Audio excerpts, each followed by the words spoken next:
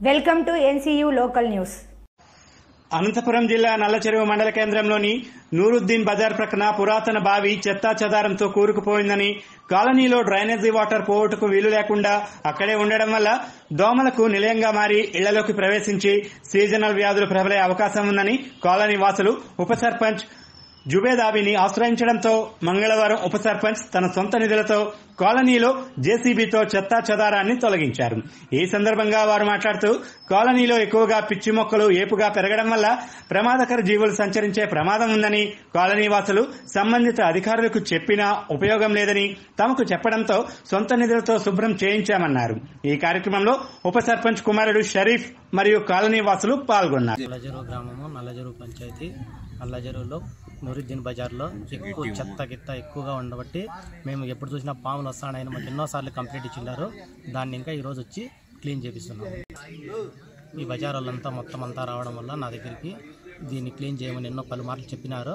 ఈసారి ఎట్లా తిరిగి చేయాలని చెప్పి అందరూ వచ్చి అది ఈరోజు వచ్చి చేపిస్తా ఉన్నాను. సొంత నిధులతో సొంత ఖర్చు పెట్టుకొని చేపిస్తా ఉన్నాను.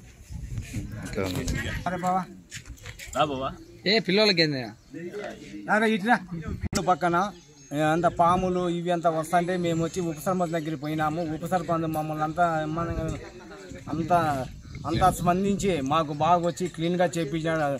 ఉప సర్పంచ్ సొంత ఇది వచ్చి సొంత నిధులతోనే పని చేపిస్తున్నాడు. మాకు మేమంతా పోయి మేము అతని తరపున మాకు ఇది చేసినాడు.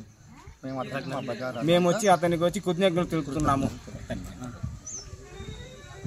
మా అమ్మ మాట్లాడు.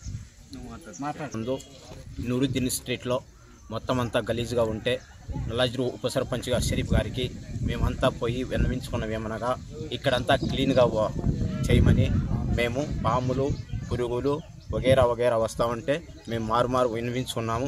ఆయన మా మాటలు స్పందించి స్పందించి ఈ కార్యక్రమం సొంత నిధులతో షరీఫ్ గారి సొంత నిధులతో ఖర్చు చేసి దీన్ని క్లీన్ చేయబడింది మేము విజ్ఞప్తి చేసినాము. దానికి స్పందించేసి అతనికి మేము కృతజ్ఞతలు తెలుపుతున్నాము పంచాయతీ నలుగురిలో ఉన్న చెత్తను మన ఉప సర్పంచ్ గారు తొలగించినారు వాళ్ళ సొంత నిధులతో కావున కావున మేమందరికీ అతనికి కృతజ్ఞతలు తెలుపుతున్నాము please subscribe NCU local news